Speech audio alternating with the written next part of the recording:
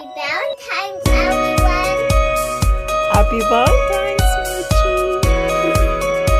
Where did you get your balloon?